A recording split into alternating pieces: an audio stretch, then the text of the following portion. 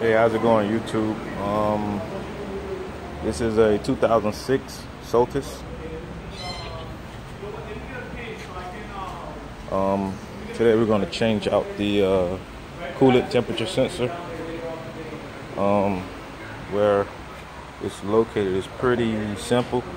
I'm on the passenger side of the vehicle. When you open the hood, you will come down. You will see the the exhaust.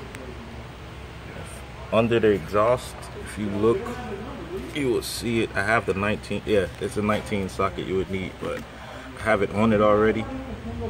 Um, the plug is very easy to come off and take it off so you can see it better.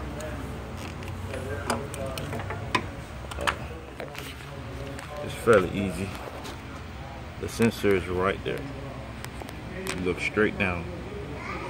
This is the type of ratchet I'm using and the socket is a 19 um, here goes the new temperature sensor.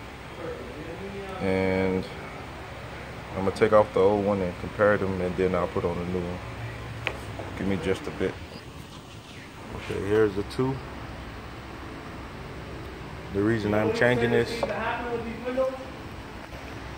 yeah sorry about that. Um yeah the reason i'm changing this because some way somehow keep, the code keep popping popping up for this and it's telling me that um, i mean once once the code pop up the ac and um, coolant temperature um, um, icon pops up and everything and it, it turns the ac off. It just blows straight heat.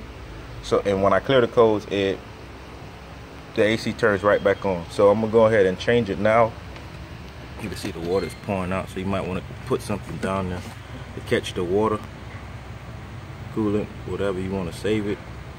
But I'm gonna put the new one in now. And there goes the new one. It's in I'm gonna go ahead and crank it up clear the codes again and see what it does. Thank you for watching